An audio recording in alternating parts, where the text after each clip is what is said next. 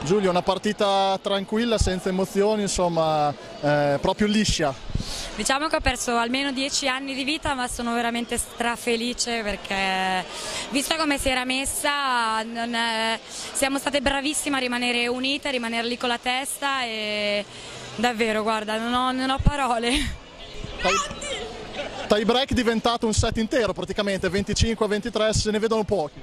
Sì, sì, assolutamente niente, è stato un bellissimo, un bellissimo set davvero, cioè, secondo me è un set di altissima qualità di pallavolo con belle difese, belli attacchi, veramente bello, sono due squadre che secondo me po' si assomigliano magari che abbiamo difeso tanto, loro veramente difendevano tutto una Cardullo strepitosa davvero e sono contenta perché alla fine insomma secondo me noi sulla carta siamo più forti e l'abbiamo portata a casa questa semifinale. Bergamo si era presa quei tre punti che non voleva più mollare nel tie break, eh, un po' di sfortuna, un po' magari di fatica anche grazie ai 5 set a trovare le soluzioni più efficaci, però poi quando contava siete rimaste lì attaccate.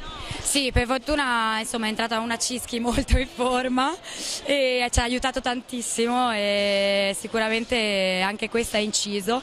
Ci siamo unite tanto e so, scusa che da dietro mi fanno le facce. E sono veramente contenta anche perché siamo partite malino il quinto set e invece siamo riusciti a stare lì e a rimontare, a rubare un punticino alla volta e è quello che dovevamo fare. Dopo la Champions e la Coppa Italia ancora Conegliano anche nei playoff. Sì, infatti dai, sono molto contenta perché è una squadra che conosciamo bene e sicuramente una Conegliano un po' diversa perché non ha De Cruyff e non credo che, che, rientri, insomma, quindi dobbiamo cercare di sfruttare questa cosa perché insomma, per loro sono quei 20 punti in meno che a noi potrebbero fare comodo.